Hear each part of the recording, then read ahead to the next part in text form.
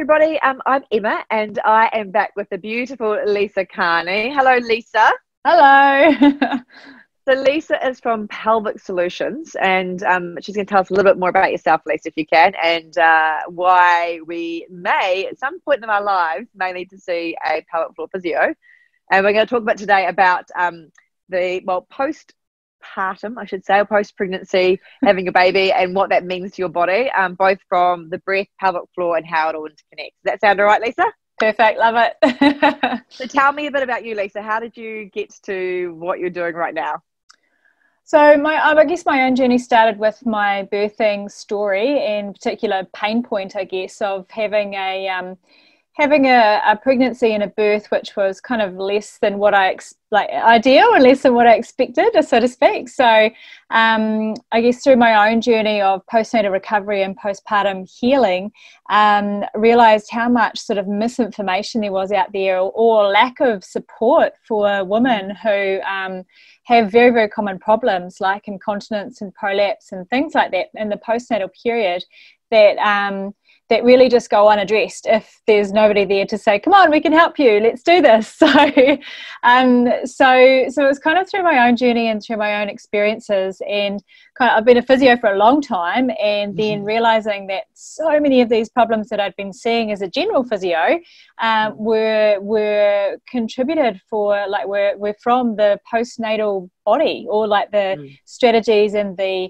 um, in, impairments, so to speak, that we pick up in pregnancy and postnatal. And if it's not corrected in that in that period, then it just continues into 70s, 80s, has however long. so. Absolutely yeah so i guess um, the more i came into it the more i realized um, uh, that the um, these women don't have a strong voice because there's a lot of shame and stigma around these conditions. So um, the more i'm into women's health uh, the more i'm more of an advocate and kind of shouting from the rooftops to say you guys don't need to put up with this anymore. There is help available and we can help you. Um, and here's how we're going to do it yeah so that's that's sort of that's my journey through public health and into private practice because in private i can actually service more and more more mm. more of the community and also focus a lot more on preventative care and stop these problems from happening in the first place. Love it. I love it. And you're so passionate about it and it comes across in everything you do as a physio. And so that's where you've actually set up a, a clinic that's dedicated to working on pelvic floor solutions, isn't it, for, yeah. for the whole body? um, which is a great a great way of looking at it. And I think that there is more awareness, but you know you have to drive that awareness. I know it's what you do a lot of is actually mm. education. So we're not the ambulance at the bottom of the hill picking up the pelvic floor, trying to put Literally. it back yeah, put it back inside in some cases. Uh, um, yeah, it's, uh, it's amazing the work that you do, and I think people want to know, well, why would you need this, and is it normal? The things that the signs and symptoms that you maybe should be experiencing or being aware of. Um, and it'd be really important to, be, to kind of know as well as someone that's generally out there. Um, and as a physiotherapist, like I have full credit to you because it's not the kind of job that I ever want to go and do. like gloves on, I'm like, no. um, I leave it to you. And you do the pelvic floor and the uh, you know of that core, the floor of the core, and I'm happy to be working on that top. But that helps to to work as that cylinder and support system all the that's way through. Right. Yeah, yeah. So I mean, I think that's probably part of the biggest problem or a barrier for people accessing coming to see us is that they mm. um, there's so many perceptions that oh, pussycat. it's, it's my assistant. awesome. it's got no tail. So. Um, yeah, no, the, the, there's a perception out there that you you just need to put up with any pain into the vagina or any kind of painful sex or um, leaking, coughing and sneezing and wetting your pants. Well, my grandma did, my mum did, therefore I'm going to. So it's normal, right? You know, so that's the that's the barrier is that the that um, people perceive it to be normal because it, it, it essentially has been uh, normalized by mainstream media as well as um, our f- previous generations who just put up with these things mm. because the information was not out there. So, um, yeah, so so part of the rehabilitation journey is to to well the actual foundation of the of the postnatal rehabilitation journey is to restore the breath right? Yeah. And i know that that's something you're particularly passionate about and um, my, my, job is um, is is always breath work first because it doesn't um, there's so many problems with like this, these babies, right? They grow up, and even like short people or tall people, these babies push up underneath our ribs, and they kind of have a really nice way of uh, reorganizing our um, lungs yep. and, our, and our ribs and our backs and all of these things. So, um, and people get stuck like that because then they are so focused on breastfeeding and caring for mm. children. They, they really, the focus goes away from um, from themselves and mm. there's also a lot of sleeplessness and over, over, like exhaustion and that all contributes to this upper chest kind of breathing pattern. Not only these kids push them out, these babies, mm. but then we get overwhelmed, lack of sleep, and we like this. And yeah. I mean, I think my particular, my own journey with breathing dysfunction was when I was in working at the hospital in Dunstan, and I had a colleague say to me, "Whoa, your breathing is terrible. You're like all breathing up here, and your shoulders are all hunched up." And I had yeah. absolutely no awareness of it, you know and I'm a, I'm a physio. I should know. hey, I was the same. Like my own breathing journey was very much that, and looking at stress and, and pushing and pushing, pushing through business and life and, and pregnancies as well. That was my awakening. And unfortunately, I think in many ways, you have these handbrake moments in your life that will tell you that something's not right. And uh, sometimes we have like little warning signs, little wee wee things that we just ignore, and we just like, oh no no no, that's not enough. Oh no no, it doesn't really matter and actually we need to listen into those little cues in the body. Um, and i think people will be feeling that now with everything going on in the world and life and change and business. Sometimes our body is screaming a little bit louder because it's been stuck into that stress mode. And we have that like you said when you have new babies it, there is just such an overdrive and hijacking with all the sleep deprivation and all the things you said. Mm-hmm. and um, and the expectations that we have on ourselves as well. There's so many layers that will trigger the breathing dysfunction that will lead then lead often to pelvic floor dysfunction, which is already happening because it's been like you know destroyed on the way out.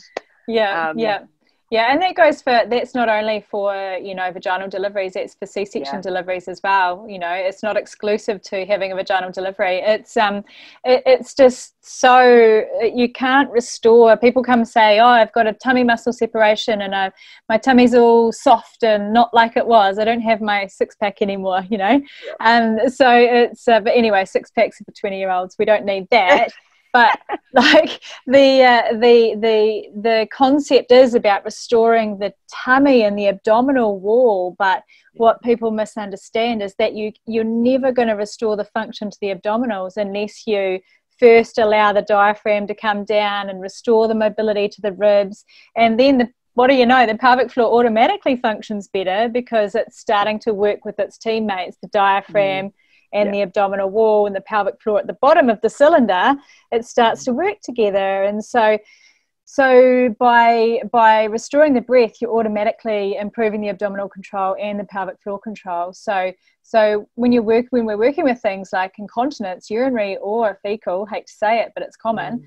Um, mm. and um, or like wind sleeping out, or um, things like prolapse, the pelvic organs dropping down and outside of the vagina and as, mm. as much as this is not something that's commonly talked about, it's incredibly common. Like the statistics mm. are something like 50%. So um, huge. 50% of women, like this is uh, in some studies.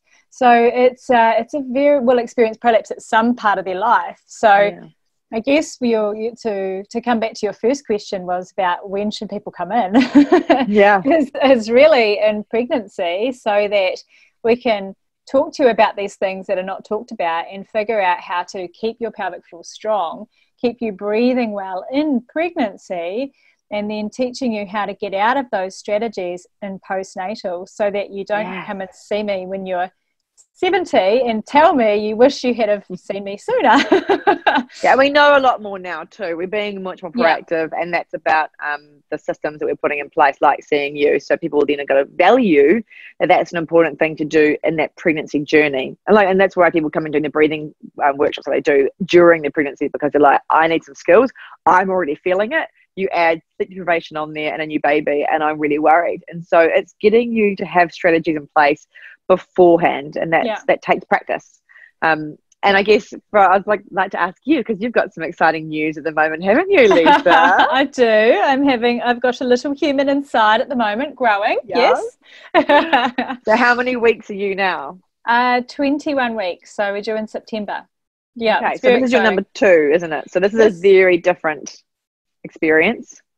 Yeah, yeah. Number two, number two for us, and it's uh, uh, our oldest is seven years old, and you know, I think that just goes to show, even me with with my knowledge, that I was carrying a mm. lot of trauma, a lot of trauma, mm. and it's mm. taken me a long time to process it and get through it.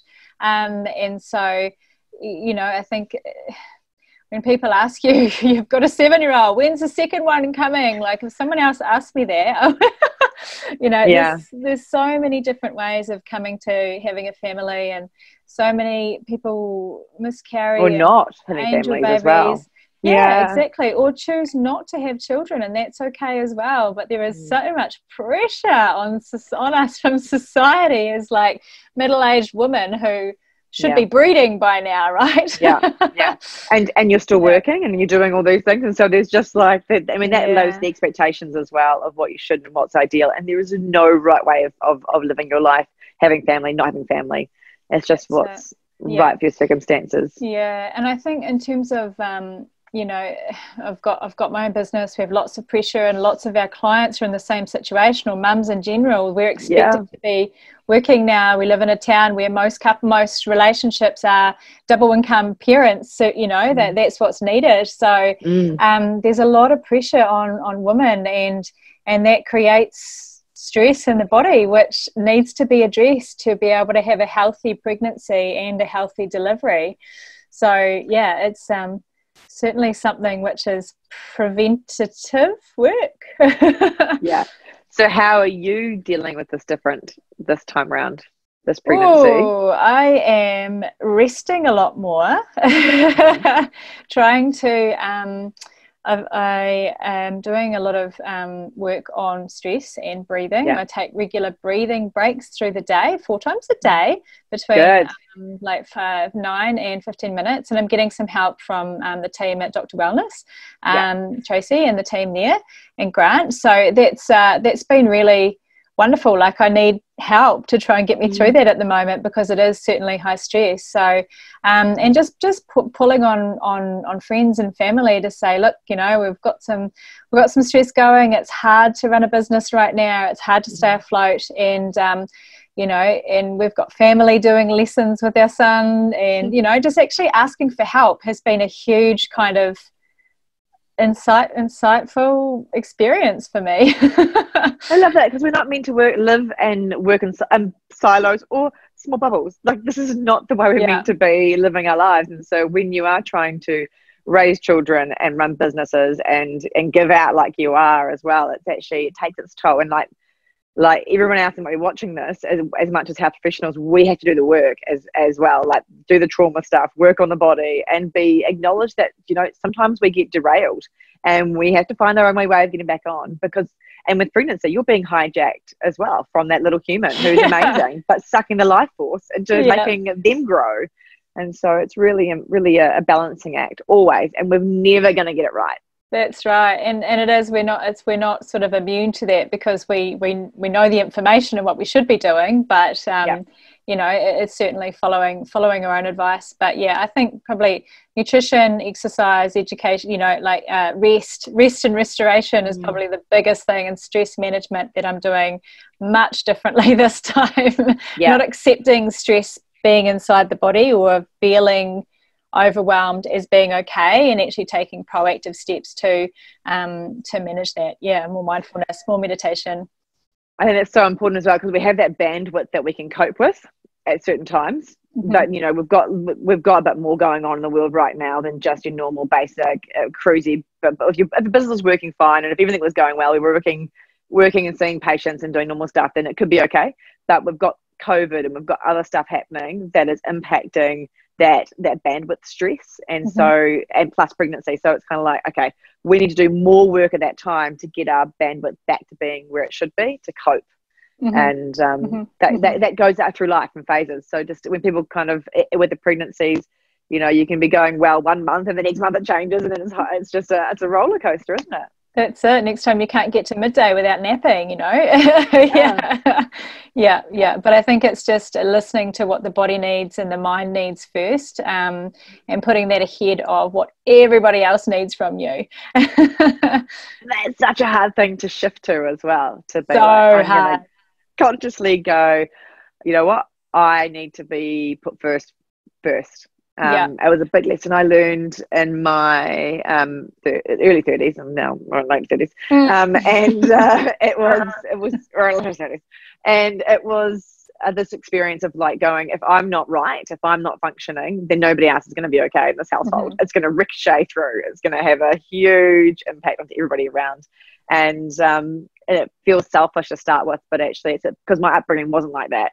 Yeah. know, I, mum yeah. of my, I'm one of six kids, and there is, um, my mum worked as well, but there was just, you know, she she wasn't always a priority, and I and, and, and I think she's been more that now, and we try and show her that she's so worth taking that time, because yeah. um, she's amazing. But I'm trying to model that for my children now too, going, look, I need to put things into place, otherwise, if I am my bandwidth shortened, my emotional bandwidth is really shortened, yeah. and that's when we kind of get um, behaviors that we're not as happy with in our life to, mm-hmm. to occur. Absolutely. So I think there's yeah. some really big lessons. And, and one part is actually getting that support, putting myself forward is going, I need to do the breath work. I need to do the pelvic floor work and learn about what that is. You know, mm-hmm. it's all about learning. Yeah. So many ways. Yeah, exactly. And you know, there's so many wonderful professionals that can facilitate that with you rather than thinking that you have all the answers and you have to know everything on how to do it mm. yourself. It's an investment in your long term health. You know, these these are there's a private practice clinics, but they they are going to support you through this and out the other end, yeah. which means you'll be more productive faster out the yeah. other end and you'll you'll be able to raise a happy, healthy family rather than you know holding it and and trying to deal with everything on your own. Yeah. So I think that's really important to talk to the women that are having babies right now, and the ones that have had um, going to maybe in the future have them, um, but also then maybe in the next few times we have a chat, Lisa, about what people can do postpartum down the track. Mm-hmm. Um, and when they are maybe at that, that further stage along, maybe even my stage where I've had two kids, last one was a few years ago, six years ago now. Yeah. And maybe how that impact is, is can, can flow into things like sport and exercise and other areas, because I think that's an interesting sort of topic to kind of get people talking about. Absolutely, I'd love that. That'd be fabulous. Particular passions. yes. So if people want to talk with you and learn, because you you work online, obviously as well, so people can yes. actually work um, virtually with you, which I think is an amazing thing. You think of pelvic floor physio, you think you must be in person uh, to, to do what you do, but it's not like that at all. You can do and see and educate and so much in this this format. Yeah, we were doing online consults before pre COVID, but now it's really come to the table how much we can help people online. And actually, people prefer it because they don't have to travel, they don't have to try and get their kids sleeping or entertain their children inside the appointment. They can really focus, kick the kids out doing whatever they want. Yeah. And, um, it's really convenient and we can do so much like they're really because we are experienced clinicians, we can mm. diagnose from their story really mm. and uh, ask a few more questions to confirm the diagnosis. Maybe can do self examinations and things like yep. that if needed. Um, but but largely we really know what's going on by the time someone's told us their story. So mm-hmm. um, so yeah so treatment is just is has been fabulous. Such great results online. And once people kind of get over the technological barriers they're they're in. And i'm not sure if they'll convert back to to coming to see us in the clinic because they're really happy online. So which you know it allows us to access a lot of people who are remote and rural who don't have specialists in the area um, and uh, and the the people who are a vulnerable don't want to come out mm. and or um, want a second opinion and don't really want to travel for it or things like that. Yeah. So yeah, it's um yeah, it's good. That's awesome. So pelvic floor solutions, that's what they should be searching to find you, Lisa Carnie. Is that pelvic what we should solutions. be looking at? Yeah, pelvic uh, solutions. Like our pelvic solutions. Our tagline on social is pelvic physio solutions. Yeah. Yep. Perfect. Otherwise, we're pelvic solutions and, website. And if anybody wants to learn more about the breathing, I'm the same. I do one-on-one consults online, and then also the live workshops, which actually I find people it's a really good starting point to actually get that awareness. And we have lots of people from um, your clinic and other places around New Zealand and around the world uh, that are actually coming in and checking out the breathe right and reduce your stress workshops because getting that as your foundation it's huge. It changes Everybody everything. needs it. Everybody. I've done it. Uh, I'll do it again. It's just absolutely fabulous. Everybody should do it. okay. So we'll sign off from there. And thank you, Lisa, for your time, for sharing your knowledge, and I think hopefully um, inspiring mums, women out there to go get supported, but also to put themselves first. Absolutely. Thanks, Eva. Nice to see you.